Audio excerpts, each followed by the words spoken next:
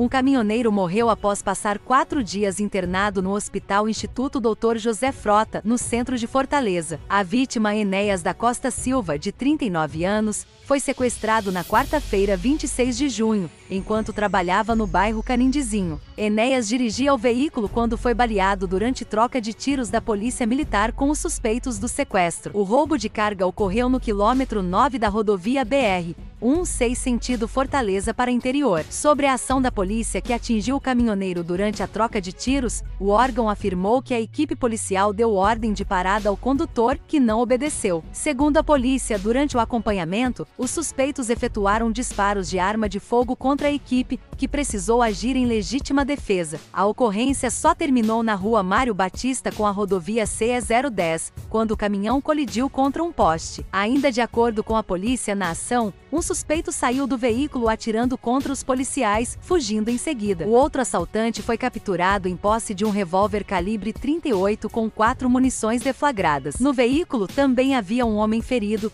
identificado como motorista do caminhão que transportava a carga tomada de assalto. A vítima foi socorrida para a unidade hospitalar. O suspeito foi conduzido até a Delegacia Metropolitana de Aquirais para os procedimentos legais. Aos familiares e amigos, os mais sinceros sentimentos do portal Leandro Ferreira. Portal Leandro Ferreira Credibilidade com a notícia.